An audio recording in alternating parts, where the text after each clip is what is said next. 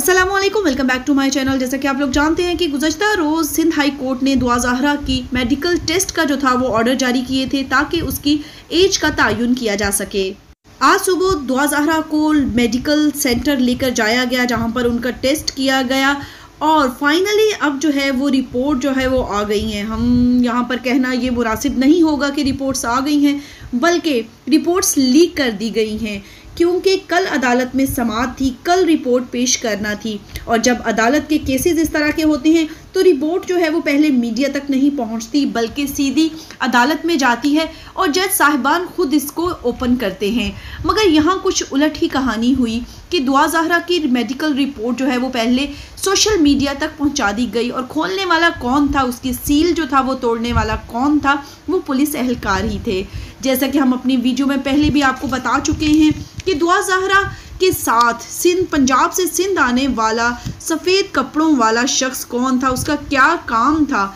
आखिर वो क्या करने आया है? क्या पंजाब जो है वो वापस ले जाएगा दुआ जहरा को? जैसा कि आप लोग जानते हैं कि जहीर नेटवर्क जो है वो बड़ी प्लानिंग के साथ चल रहा है। जहीर कहने को तो एक आम सा, छोटा सा बच्चा है और सिर्फ़ एक सिंपली निकाह किया है, जो कि वो दिखाने की कोशिश करते हैं कि भागकर शादी की है। मगर असल में ये सब कुछ दिखाई ऐसा नहीं देता, ऐसा है नहीं जो दिखाई दे रहा है। अब खुद सोचें कि इतनी फोर्स आई दुआ अदालत में दुआ जहरा को ऐसे लपेट कर लेकर आया गया जैसे कोई दहशत गर्दी का केस होता है। हमें इस चीज़ का हंड्रेड परसेंट श्योर था कि जहीर नेटवर्क जो है वो दुआ जहरा की उम्र को किसी ना किसी तरीके से 16 साल या फिर हर हाल में 16 से 17 साल का साबित कर कर रहेगा, जो कि उन्होंने अब किया भी। आज की इस वीडियो में हम बताएँगे कि इस वक्त जो है दुआ जहरा की रिपोर्ट्स मंजरेआम पर आ चुकी हैं, जिसे देखकर दुआ जहरा के फादर जो हैं वो बहुत अफसरदा हैं और बहुत गुस्से में भी हैं, क्योंकि उनका कहना है कि दुआ जहरा की उम्र जो है वो इतनी तयन की गई है जितनी मेरे, जितने साल मेरी शादी को भी नहीं हुए। तो आपको बताते चले कि दुआ जहरा की मेडिकल जो रिपोर्ट आई है, उसके मुताबिक दुआ जहरा को 16 से 17 साल तक, तकरीबन 17 साल उसकी उम्र तयन की गई है। अभी एक घंटा पहले ही दुआ जहरा के फादर ने सोशल मीडिया पर एक इंटरव्यू दिया है, जिसमें उन्होंने दिखाया रिपोर्ट जो उन्हें मौसू हुई। उन्होंने डिटेल कहानी सुनाई। उन्होंने कहा कि ये प्रोसेस इतना आसान नहीं होता मेडिकल टेस्ट का, मगर ये ऐसे लगा जैसे कोई आम शख्स उठकर गया है और जाकर मेडिकल टेस्ट करवाया और उसकी रिपोर्ट आ गई और बाद में पूरे सोशल मीडिया पर फैला दी गई। हालाँकि जब देखा जाए सिक्योरिटी के लिहाज से कि जब अदालत में लेकर आया गया था दुआ को तो इतनी सिक्योरिटी, इतनी पुलिस ऐसे जैसे बहुत हाई प्रोफ़ाइल केस है। मगर, अब जब टेस्ट का मामला आया मेडिकल टेस्ट का तो ना कोई ख़ास डॉक्टर था, ना कोई एक पूरा प्रॉपर जो था वो बेंच बैठा। बस एक आम सी डॉक्टर के पास ले जाया गया, जिसने मेरे सामने उसके जॉज सिर्फ़ देखे और उम्र का तयन करके लिख दिया गया। कोई टेस्ट स्पेशल नहीं किए गए। दुआजारा के फादर का कहना था कि ये बहुत ज़्यादती कर रहे हैं। दुआजारा के फादर का कहना था कि इस केस की वजह से जिस आईजी से चार्ज लिया गया था, उससे, उसे अहदे से हटाया गया था।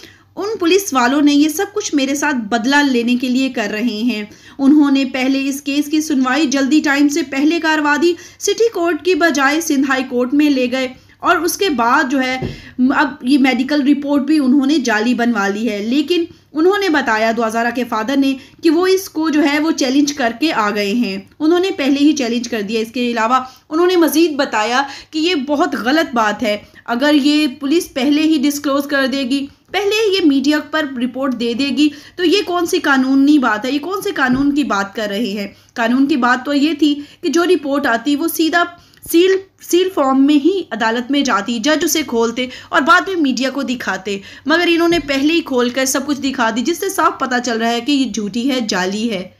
द्वाजारा के फादर का कहना था कि उनकी शादी को सत्रह साल और एक माह हुआ है। अब आप देखें कि जिसकी शादी को सत्रह साल हुए हैं, उसकी बेटी सत्रह साल की कैसे हो सकती है? आपको यहाँ पर एक और बात बताते चलें। हमारे पाकिस्तान में, जैसा कि मैंने पहले भी आपको बताया था कि दुआ जहरा का कहना है कि उसके फादर ने दो तीन साल उसकी एज कम लिखवाई है। ये हमारे अलमिया है पाकिस्तान का कि अक्सर पेरेंट्स ऐसे कह करते हैं। अब अगर देखें, बर्थ सर्टिफिकेट्स गलत बन सकते हैं, चले माना बन गया, उसका गलत लिखवाई है एज। क्या मैरिज सर्टिफिकेट्स भी गलत बनते हैं?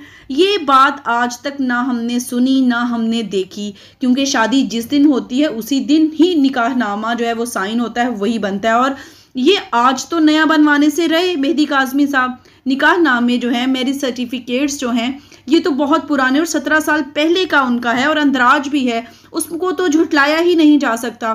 फिर शा, उस बच्ची जो है वो सत्रह साल की कहाँ हो सकती है? ये लोग जितनी तगोदो कर रहे थे, जितना एड़ी चोटी का ज़ोर लगा, अपनी रिपोर्ट ये जाली बनवाने में वो इसमें कामयाब भी हुए।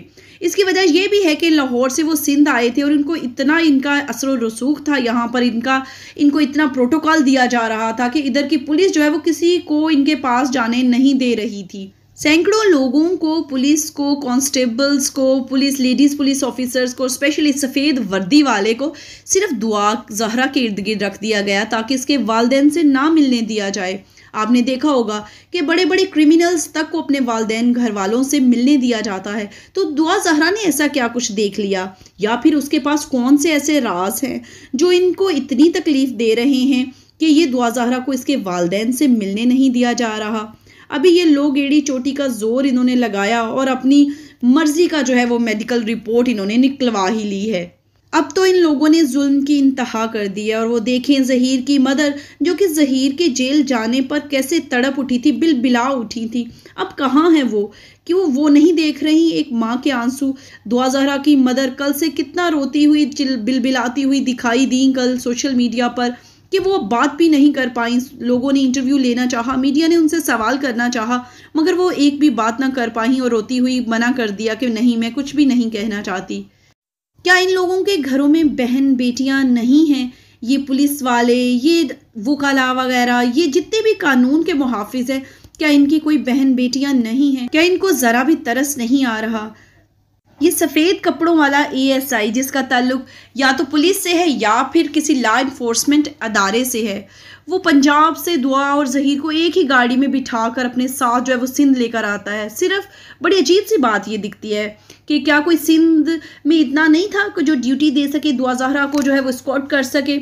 मगर मकसद इनका यही था, इस शख्स को इसी काम पे मामूर ही कर रखा हुआ था इसने कि ये जाए।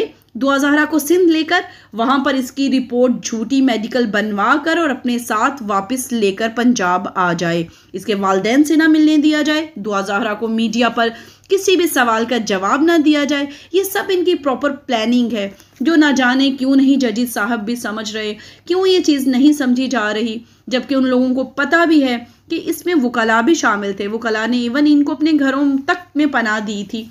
एक आम से शख्स के पीछे इतनी पड़ी हुई है, उसका लव, उसका प्यार, मोहब्बत, उसकी बचाने के लिए क्या दुनिया इसलिए इसके साथ दे रही है? नहीं। ये कोई गैंग है, ये कोई नेटवर्क है। क्योंकि लोग इतने फारिग नहीं हैं कि किसी की प्यार, मोहब्बत की स्टोरीज को कंप्लीट करने के लिए उन्हें अपने घरों में पना दें और उन पर इतना पैसा खर्च करें। ये कुछ ना कुछ गड़बड़ है, जो कि फ़िलहाल तो अल्लाह पाक की ज़ात ही जानती है। और हमारी पुलिस शायद इसको डिस्क्लोज नहीं करना चाह रही, अपने मुँह से एक्सेप्ट नहीं कर रहे और ना ही शायद जजेस ये चीज़ देख पा रहे हैं। हमारी तो दुआ है कि अल्लाह पाक जो है, वो सच और हक की जीत हो, अल्लाह पाक है, वो दुआ जहरा के फादर को सब्र दे और हौसला दे और इनको कामयाब कामरान करे। अल्लाह पाक सब की बहन, बेटियों और माओं की इज़्ज़तों को महफूज रखे। अल्लाह पाक आप लोगों को भी हमेशा अपने हिफ्ज़ अमान में रखे, हर नागहानी, आफत और मुसीबत से बचाए। हमें भी यहीं पर इजाज़त दीजिएगा। इन ताला फिर नेक्स्ट वीडियो में न्यू अपडेट्स लेकर हाजिर होंगे। तब तक इजाज़त दीजिएगा। अल्लाह